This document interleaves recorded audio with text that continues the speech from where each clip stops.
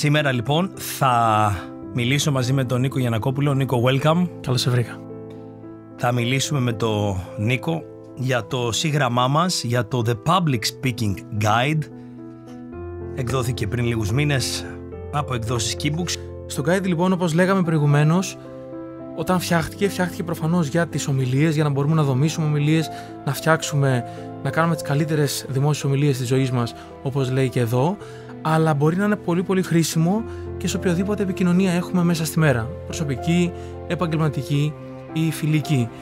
Εδώ λοιπόν που λέει, που λέει η πρώτη κάρτα, τι πρέπει να γνωρίζεις πριν ξεκινήσεις, είναι πολύ σημαντικό αυτό να το σκεφτείς και σε μια οποιαδήποτε ομιλία έχεις την καθημερινότητά σου. Δηλαδή, λέει εδώ, ποιος είναι ο χρόνος που έχεις στη διάθεσή σου.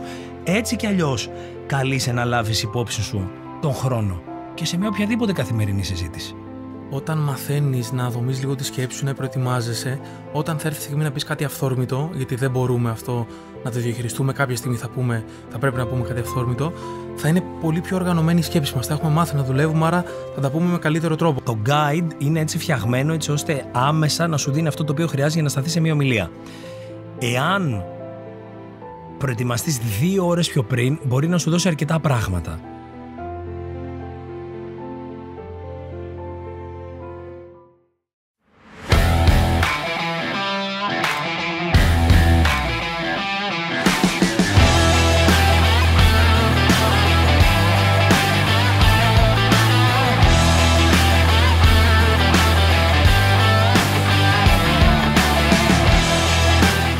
Καλώς ήρθατε σε ένα ακόμα podcast on the speakers. Είμαι ο Αποστόλης Κουμαρίνος και κάθε Τετάρτη από τις 5 ώρα το πρωί διαθέσιμο ένα νέο podcast σε Spotify, Apple και Google Podcasts για να ξεκινάμε την μέρα μας με δύναμη, με αγάπη, με ενέργεια, με πάθος για να ανακαλύψουμε περισσότερο τους εαυτούς μας, να κάνουμε ένα βήμα προς το έναο, αέναο αυτό ταξίδι, το ταξίδι προς το μέσα μας. Σήμερα λοιπόν θα μιλήσω μαζί με τον Νίκο Γιανακόπουλο. Νίκο, welcome. Καλώς σε βρήκα. Θα μιλήσουμε με τον Νίκο για το σύγγραμμά μας, για το The Public Speaking Guide. Εκδόθηκε πριν λίγους μήνες από εκδόσεις Keybooks και αυτό guide λοιπόν έχει μέσα 35 κάρτες και ένα, ένα εγχειρίδιο, έναν οδηγό 64 σελίδων που αναλύει αυτές τις κάρτες. Το Public Speaking Guide λοιπόν θα σας πούμε σε λίγο περισσότερα γι' αυτό, αλλά πίσω από 25, από τις 25 από τις 35 κάρτες έχει αποφθέγματα, έχει κάποια αποφθέγματα τα οποία δεν συναντά συχνά στα κοινωνικά δίκτυα, δεν τα βρίσκεις εύκολα εκεί έξω, έχουν προκύψει μετά από αρκετή έρευνα. Και σήμερα θα ξεκινήσω με αυτό το απόσπασμα. Το guide εκδίδεται από τις αγαπημένες μας εκδόσεις από τις Keybooks και το απόφθεμα λοιπόν που έτσι αγαπώ πάρα μα πάρα πολύ και ξεχωρίζω. Είναι από τον αγαπημένο μου, από τον δικό μου, έναν από τους δικούς μου μέντορας, μέντορες, ο οποίος δεν είναι πλέον εν ζωή, ο Πολ Βάτσλαβικ, ο οποίος λοιπόν άλλαξε τον τρόπο που αντιλαμβανόμαστε την επικοινωνία μέσω της συνεισφοράς του στον κλάδο της συστημικής ψυχοθεραπείας και είχε πει ότι αληθινή ακρόαση είναι να αφήσεις κάποιον άλλο άνθρωπο να σε αλλάξει.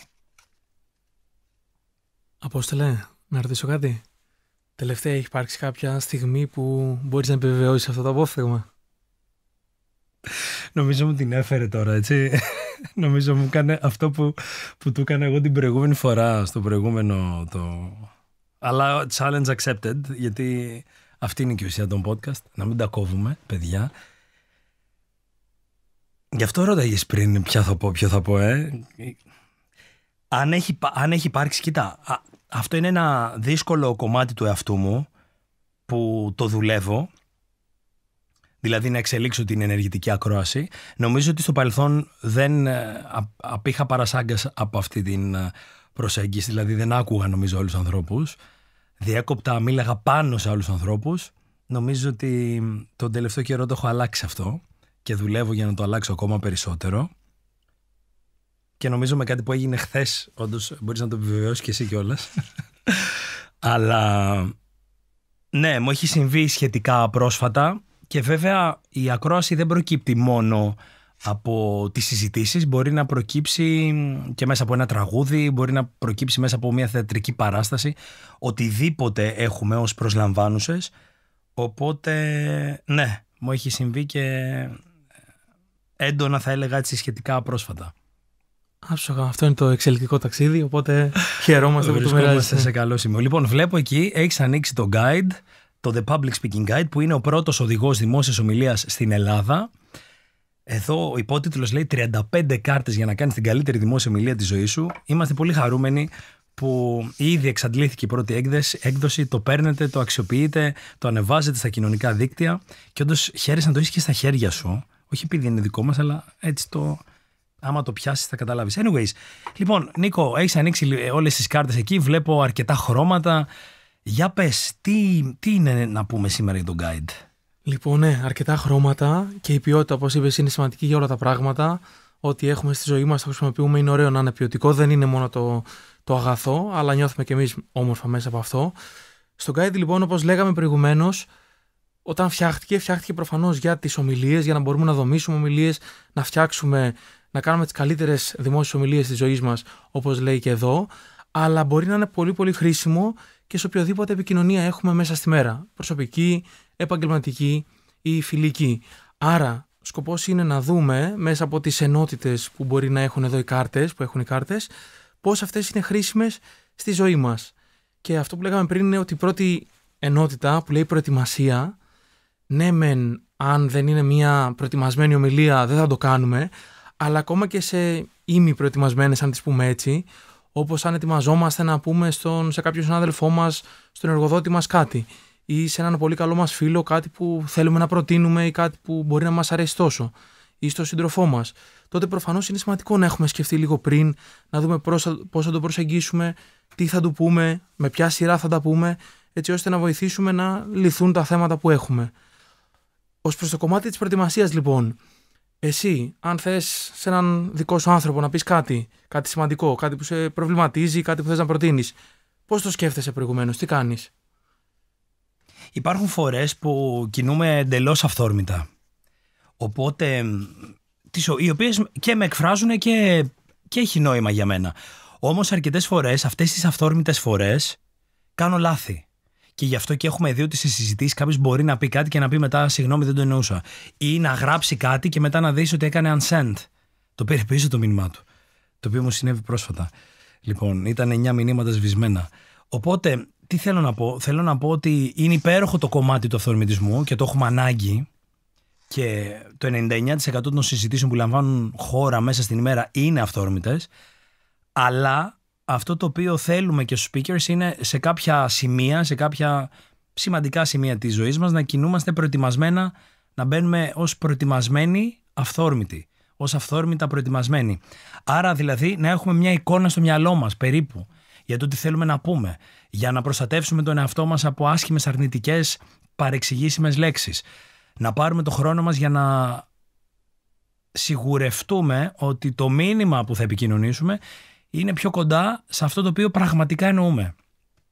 Εδώ λοιπόν, στο πρώτο πυλώνα του guide, που μιλάμε για την προετοιμασία, αυτό τι είναι, τι χρώμα είναι αυτό, κοραλό κάτι. Αυτό λοιπόν το, το χρώμα εδώ πέρα, το ωραίο. Έχει έξι κάρτες και μιλάει για το ποιο είναι το θέμα της ομιλίας σου και αρκετά άλλα πράγματα για τον τεχνικό εξοπλισμό, τι πρέπει να γνωρίζεις πριν ξεκινήσεις, που είναι η πρώτη κάρτα, η α1 κάρτα. Εγώ αυτό που θέλω να πω είναι το εξής. Μιλούσαμε μιλάμε για την αρχαία Ελλάδα, μιλάμε για τους αρχαίους ρήτορες, μιλάμε για τον τόπο όπου ξεκίνησε η ρητορική, η Ελλάδα. Και κάποιος έχει στο μυαλό του ότι η ρητορική ή η δημόσια ομιλία είναι κάτι το οποίο δεν ανήκει στην καθημερινότητά μας.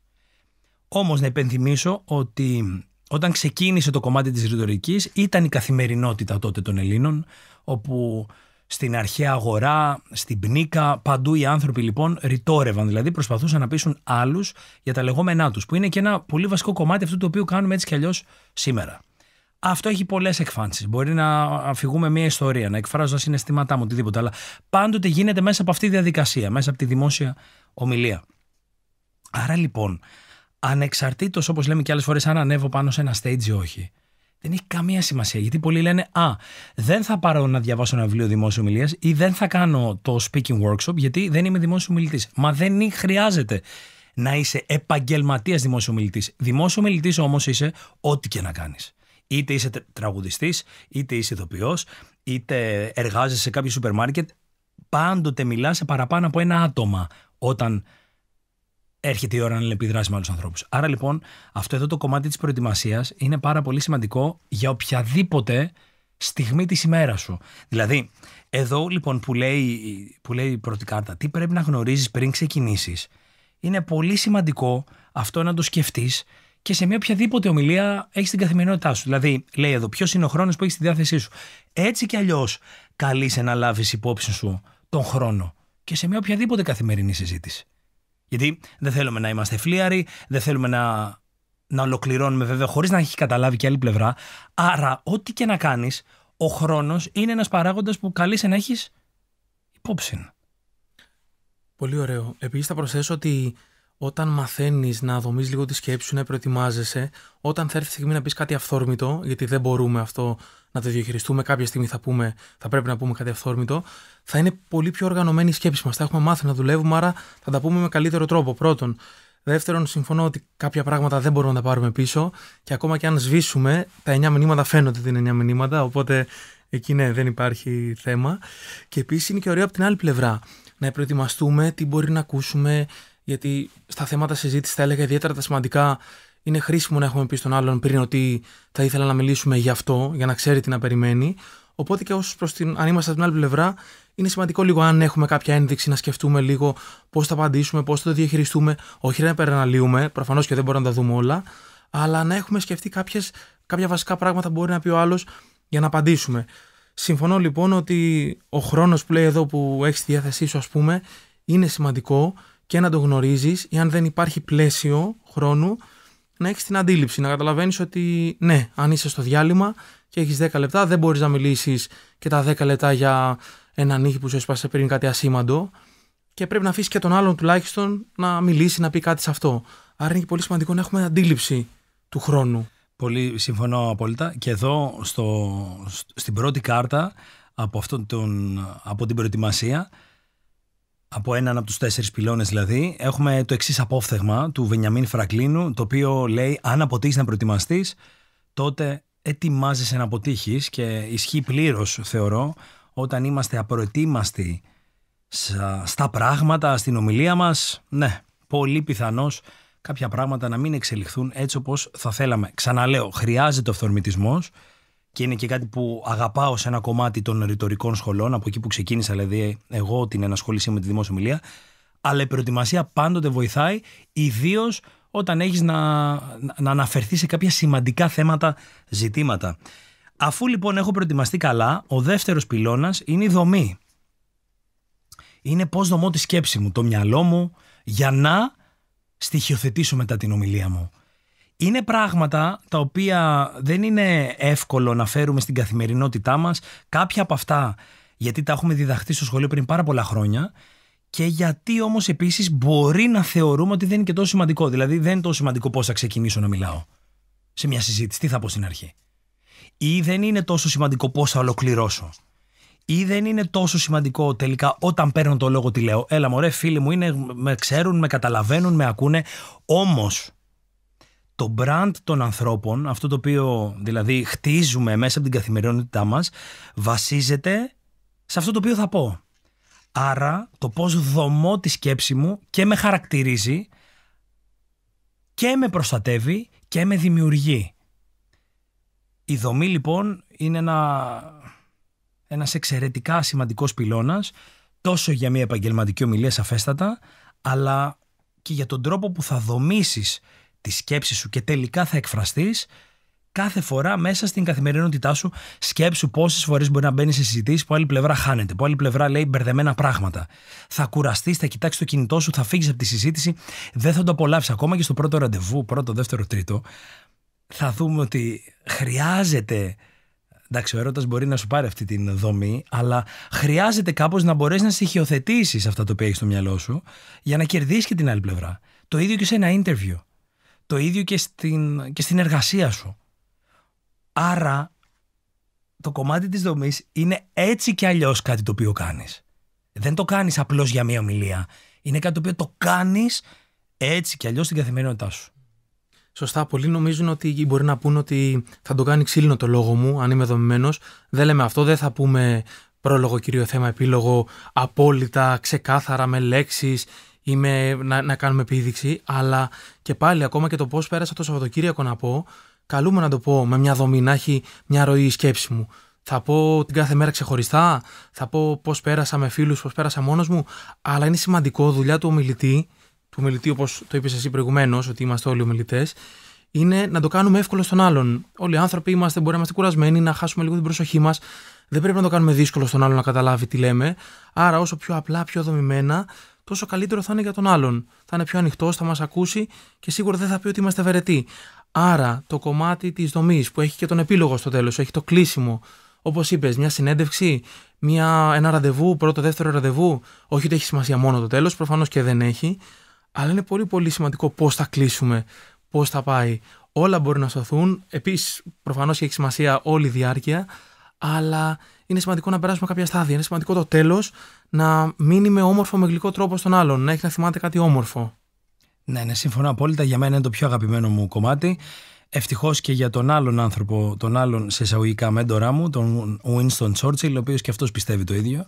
Ο τρόπος που ολοκληρώνεις μια ομιλία είναι και ο τρόπος που χαρακτηρίζει την ομιλία σου, γι' αυτό και λέμε πάρα πολλές φορές. Όταν θες να κλείσεις επιδραστικά, κάνε το εξής. Ρίξε τον τόνο της φωνής σου. Είναι άλλο πράγμα να πω να πω ένα απόφθεγμα, ας πούμε, ας πω αυτό εδώ. Όσο σύντομη και αν ελπίζουν οι άλλοι ότι θα είναι ομιλία σας, εσείς πάντοτε να την κάνετε συντομότερη. Εδώ τι έχω, έχω έναν υψηλό τόνο, που σίγουρα κατά τη διάρκεια του επιλόγου δεν θα με βοηθήσει. Θα με βοηθήσει αυτός ο τόνος πιθανώς μέσα στην ομιλία ή στο κύριο θέμα. Στον επίλογο όμως, ακούστε, όσο σύντομη και αν ελπίζουν οι άλλοι ότι θα είναι ομιλία σας, εσείς πάντοτε να την κάνετε συντομότερη. Οπότε αντιλαμβάνομαι ότι όταν ρίχνω τον τόνο, πιθανώς να τραβάω την προσοχή, να δημιουργώ και μεγαλύτερη επίδραση. Και άλλος να μπορεί αυτό να το σκεφτεί, να το καταλάβει, να το αντιληφθεί καλύτερα. Και είναι ένα σφάλμα που κάνουν πολύ συχνά οι άνθρωποι που δεν δίνουν σημασία στον τόνο της φωνής, αλλά μέσα από αυτό το πολύ απλό παράδειγμα καταλαβαίνεις ποιο, ποια έκφραση και ποιος τρόπος σε βοηθάει καλύτερα να γίνεις επιδραστικός. Λοιπόν, επόμενο, επόμενος πυλώνας είναι η βάση της δημόσιας ομιλίας, άλλες έξι κάρτες, ένα κίτρινο χρώμα εδώ έχουμε επιλέξει, με την Digilect, την εταιρεία που το σχεδίασε όλο αυτό εδώ το υπέροχο κομμάτι. Και εδώ λοιπόν έχει τις βάσεις, έχει αυτά τα οποία καλείσαι να ξέρεις, πού πατάς, από πού ξεκινάς, τι να κάνεις, τι να μην κάνεις, τι να λάβεις υπόψη σου, έχει κάποια υπέροχα πράγματα μέσα. Οι βάσεις λοιπόν επί της ουσίας τι είναι, είναι ένα πλαίσιο, είναι πια, πώς να το πω, είναι κάποιοι κανόνες Σωστά. Είναι μέσα σε μια συζήτηση τι επιτρέπεται σε εισαγωγικά και τι δεν επιτρέπεται. Επιτρέπεται να βρεις έναν άλλον άνθρωπο Μάλλον όχι, δεν επιτρέπεται. Δεν επιτρέπεται.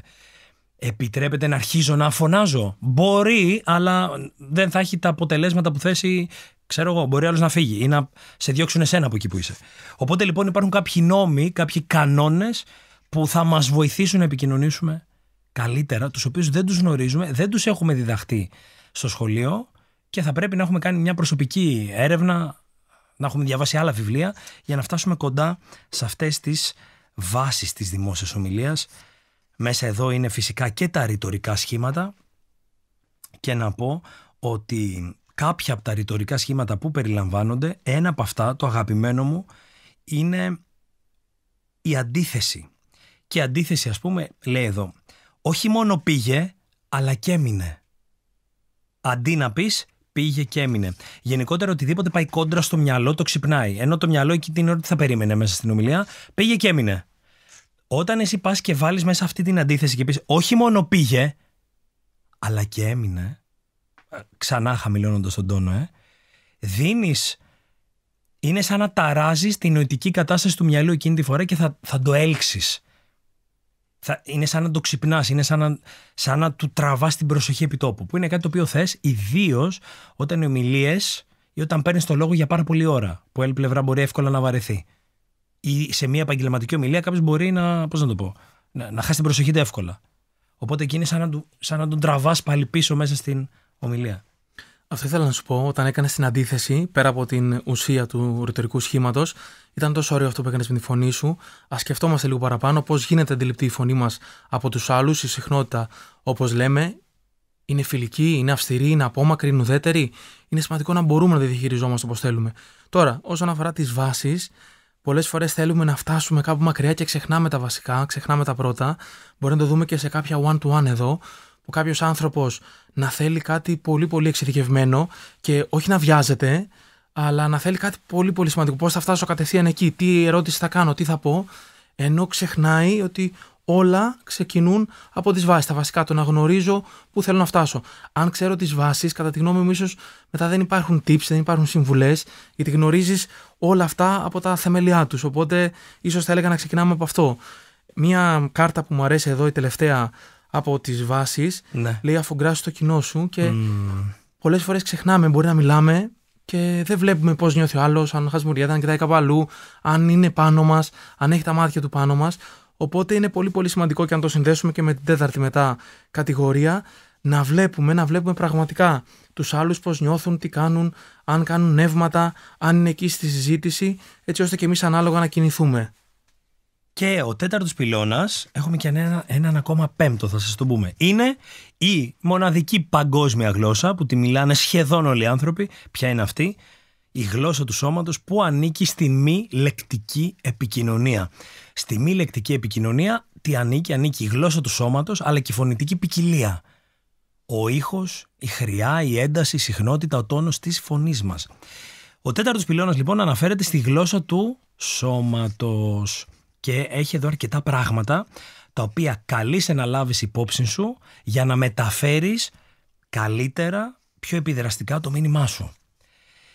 Σκέψου ότι η γλώσσα του σώματος επεμβαίνει παντού, στο, στα αθλήματα, σε ένα καλλιτεχνικό πατινάζ, στο τραγούδι, στην τέχνη, παντού. Και θα δούμε ότι όταν θέλουμε έναν επιδραστικό μιλητή, θέλουμε να συμμετέχει το σώμα του. Δεν ξέρουμε πώς ακριβώς, αλλά θέλουμε να δείχνει το πάθος του, να δείχνει τα συναισθήματά του, να δείχνει τέλος πάντων ότι μετέχει ολόκληρος εκεί. Και αυτό είναι που πολλές φορές μας μας κερδίζει απέναντι στους ανθρώπους. Υπάρχουν λαοί που το κάνουν πολύ πιο έντονο αυτό. Η Ιταλία, ας πούμε, είναι ένα παράδειγμα που μου έρχεται, μιας και ζούσε και στην Ιταλία, που θα δεις ότι το σώμα τους εμπλέκεται πλήρως στη συζήτηση. Αυτό τι μας κάνει, μα, μα- μας, βοηθάει, μας βοηθάει να απομνημονεύσουμε καλύτερα κάτι, μας βοηθάει να καταλάβουμε καλύτερα τα πράγματα και να δούμε πιθανώς και το πώς νιώθει η άλλη πλευρά. Γιατί όταν δεν θα κινηθώ δεν μπορεί η άλλη πλευρά εύκολα να καταλάβει τι νιώθω. Οπότε βάζοντας μέσα τη γλώσσα του σώματος εκφράζει και τον εσωτερικό σου κόσμο. Αυτό λοιπόν τον οποίο δεν βλέπει η άλλη πλευρά. Άρα μπορείς να επιτύχεις μεγαλύτερη σίγουρα σύνδεση. Πολύ ωραίο και, μια, και ένα από τα αποφθέγματα που έχουμε εδώ λέει ότι είχαμε μη λεκτική επικοινωνία πρωτού πριν μιλήσουμε, πρωτού καν Έτσι. μιλήσουμε. Οπότε είναι σημαντικό όχι να βιαζόμαστε όπως έχουμε πει πολλές φορές να κάνουμε και να βγάζουμε συμπεράσματα, αλλά όπως και να έχει από τα ρούχα του ενός ανθρώπου, το πώς μυρίζει, την φωνή του, μπορούμε να βγάλουμε πολλά πολλά συμπεράσματα. Άρα, ας δώσουμε λίγο παραπάνω σημασία σε αυτό, ας προπονηθούμε ακόμα και μόνοι μας λίγο παραπάνω σε αυτό, ας ηχογραφήσουμε κάτι. Αν έχουμε μια ομιλία, το έχεις πει και πολλές φορές, είναι ωραίο να την ηχογραφήσουμε, να ακούσουμε τη φωνή μας και μετά ίσως να την βιντεοσκοπήσουμε χωρίς καν να ακούσουμε τη φωνή μας, έτσι ώστε να απομονώσουμε αυτά τα δύο στοιχεία. Και το κομμάτι του σώματος και το κομμάτι της φωνής είναι κάτι το οποίο θέλουμε να έχουμε κατά νου. Μπορεί να δημιουργήσει σύνδεση ή να μην δημιουργήσει μόνο και μόνο από μια έκφραση προσώπου, από το πόσο ζεστή ή όχι είναι η φωνή μας. Είναι κάτι τόσο σημαντικό και να το αφήνουμε στην τύχη του. Εγώ, αν έλεγα κάτι πρακτικό, να δοκιμάσουμε ως προς τη φωνή τουλάχιστον, είναι ακόμα και πράγματα που λέμε έτσι κι αλλιώς μέσα στη μέρα που είναι ίδια από το να παραγγείλουμε ένα καφέ για παράδειγμα, να δοκιμάσουμε τη μία να είμαστε λίγο πιο ουδέτεροι, τη μία λίγο πιο φιλική. Να δούμε υπάρχει διαφορά, υπάρχει διαφορά όπως μας αφουγκράζεται που λέγαμε και πριν ο συνομιλητής μας. Μήπως αν μιλήσουμε λίγο πιο ζεστά, χαμογελάει λίγο παραπάνω. Άρα είναι κάτι το οποίο είναι πάρα πάρα πολύ σημαντικό για να το αφήσουμε στην τύχη. Και υπάρχει ένας μιμητισμός, θεωρώ, πάρα πολύ σωστό αυτό που λες, διότι όταν βλέπουμε ότι αλλάζουμε τον τρόπο που εκφραζόμαστε στους ανθρώπους, πιθανώς αλλάζουν και εκείνοι. Ο- ο- Οπότε αυτό είναι ένα πολύ ωραίο εισαγωγικά πείραμα να δεις ότι επί της ουσίας μπορείς να οδηγήσεις μια συζήτηση και να την πάρεις από έναν εκνευρισμό, να την πάρεις από, από έναν τσακωμό και να την επαναφέρεις σε έναν πιο υγιή δρόμο. Και το Τελευταίο. Παρά... Ναι, ναι, για πες. Και το παράδειγμα που είπες με τους Ιταλού πριν, αν μιλήσουμε με έναν Ιταλό, είτε αγγλικά είτε Ιταλικά, αν γνωρίζουμε, είτε αν μιλάει ελληνικά, αν έχει μάθει, νομίζω θα μας κάνει και θα μας πάει προς αυτήν την κατεύθυνση. Θα αρχίσουμε και εμείς να μιλάμε πιο μελλοντικά μετά, θα βάλουμε και το σώμα μας παραπάνω μέσα σε αυτό. Σωστό. Λοιπόν, και ο τελευταίος πυλώνας έχει την ονομασία Joker Cards. Δεν είναι όπως οι προηγούμενες κάρτες. Λέγονται Joker Cards λοιπόν, έχει μια υπέροχη έτσι βενετσιάνικη, ε, καλά λέω, μάσκα στο πίσω μέρος. Λοιπόν και αυτά τα Joker Cards είναι τα εξής. Τι είναι, είναι αυτά τα σως τα οποία χρειάζεσαι να ξέρεις πριν μπεις μέσα σε μια ομιλία. Το guide είναι έτσι φτιαγμένο έτσι ώστε άμεσα να σου δίνει αυτό το οποίο χρειάζεται για να σταθεί σε μια ομιλία. Εάν προετοιμαστείς δύο ώρες πιο πριν, μπορεί να σου δώσει αρκετά πράγματα. Σίγουρα αυτά τα οποία γράφουμε εμείς μέσα θέλουν αρκετό καιρό. Δηλαδή, μια, μια πάρα πολύ καλή ομιλία μπορεί να πετύχει από, ξέρω, αναλόγως την εμπειρία του καθενός από 7 μέρες μέχρι 7 μήνες. Ποικίλει, έτσι, αναλόγως το, το, το σημείο αφετηρίας. Αλλά τα Joker Cards τι κάνουνε, και το guide είναι έτσι δομημένος ώστε να σου έχει τα σως, τα σημαντικά, για να πάρεις αυτά που θες για να σταθείς μέσα σε μία ομιλία, αλλά και στην καθημερινότητά σου. Τα Joker Cards λοιπόν έχουν τα σως, αυτά τα οποία καλό θα ήταν να μην ξεχάσεις.